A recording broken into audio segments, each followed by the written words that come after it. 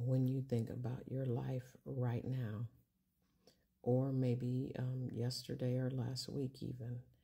Ecclesiastes 3 and 1 says, To everything there is a purpose. There's a reason for everything we endure, we go through, and we experience. God has a purpose for it. And if if by chance the enemy has raised his head, there's a purpose for that. If there's something going on uh, in your body, in your mind, in your family, in your finances, uh, in any any area, there's a purpose for that.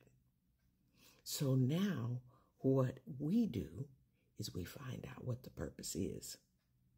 Is it for me to mature? Is it a life lesson? Is it for me to understand God better? Is it for me to draw closer to Him? Is it a test? Is it a trial? What is the purpose? So don't just go through stuff in life and not understand that it has a purpose.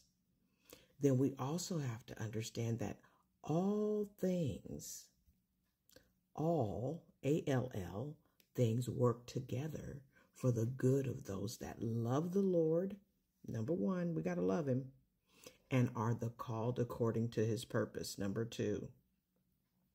So if we fit that category, even if it's bad things we're experiencing, it's going to work for our good. Keep the faith, find out the purpose, stay in position, and watch God do it.